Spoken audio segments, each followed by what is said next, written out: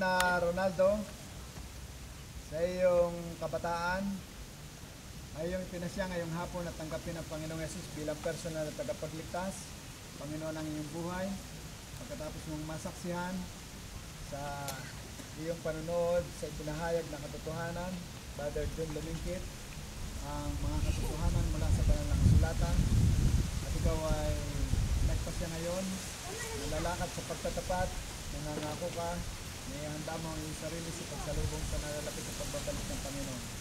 Ako bilang personal na ministro at tagapagpahayag ng salita ng Diyos ay binabautismohan kita sa pangalan ng Ama, ng Anak at ng Espiritu Santo.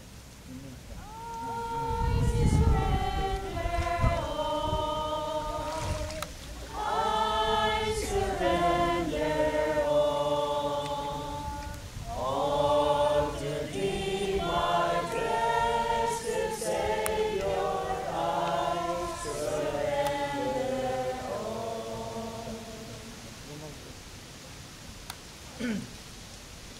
banal, sa hapon na ito kami po ay nagagalak na masaksihan ang pagtanggap ni Brother Ronaldo sa inyo bilang personal na tagapagligtas at Panginoon ng kanyang buhay. Sa kanya pong pag-ahon sa simbolong libingang tubig ay ang pagkatala ng kanyang pangalan sa aklat ng buhay. Isasala ng kapatid namin na ito ay makakaranas ng maraming pagsubok, mga tukso, para ilugpo siya sa kanyang pananampalataya. Subalit ngayong hapon kami po ay nakikiusap sa inyo napuspusin niyo siya ng kapangyarihan ng banal na Espiritu upang mapagtagumpayan niya ang lahat ng siligi ng kasamaan. Pagpalain po siya bilang ama ng tahanan, maging pagpapala at liwanag siya sa loob ng tahanan para sa kanyang asawa at mga anak.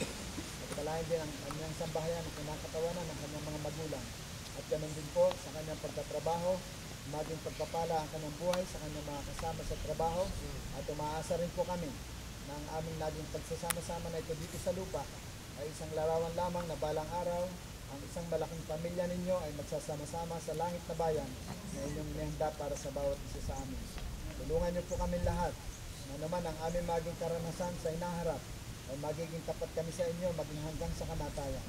Salamat po sa inyong pagpapatawad sa aming mga kasalanan. Salamat po sa inyong bendisyon na iginawad sa amin lahat at kami po na nangasaksi sa bautismo na ito ng aming kapatid na ito ay aming sariwain ang aming pagtanggap sa inyo at ang aming unang pag-ibig na lalo po kaming magpakalapit-lapit sa inyo, lalo kami magpakatatag sa aming pananampalataya at lalo kami magtumibay sa aming pagkakilala na maging handa sa pagsalubong sa inyong napakalapit na pagbabalik. Salamat po sa inyong pagtugon sa aming panalangin.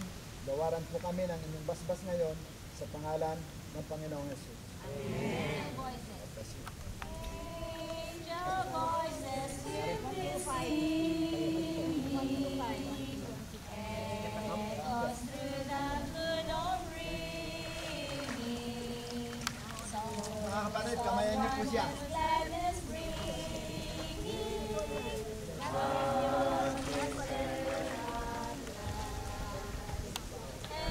kamayan niyo po